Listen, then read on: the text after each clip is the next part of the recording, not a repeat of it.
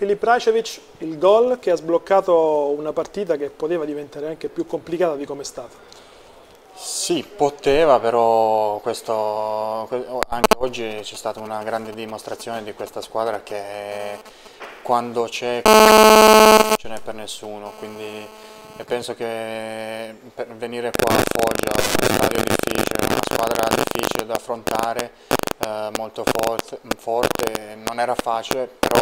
penso che non abbiamo mai rischiato neanche messo in dubbio il risultato, siamo riusciti a aprirla nel tempo giusto, potevamo già chiuderla praticamente nel primo tempo, ho visto diverse occasioni davanti al portiere, però tutto sommato penso una grande prestazione da parte di tutti e tre punti meritati. Si può dire una prestazione da squadra matura? Sì, c'è questa sensazione perché vedere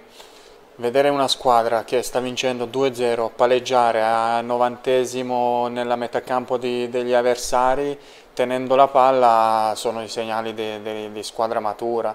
Eh, però purtroppo non basta essere una squadra matura, bisogna continuare su questa strada e cercare di arrivare al nostro obiettivo il prossimo avversario oggi ha, ottenuto un risultato importante, no? il Catanzaro vincendo sì. a Palermo sarà il nostro prossimo avversario. Sì, una squadra fortissima che, che l'ha dimostrato nel largo del campionato,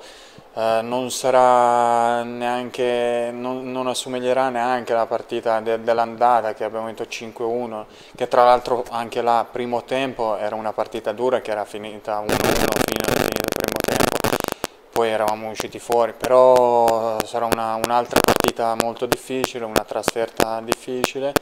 però noi giustamente eh, come tutto il campionato andiamo eh, a giocarcela con tutti e provare, provare a vincere.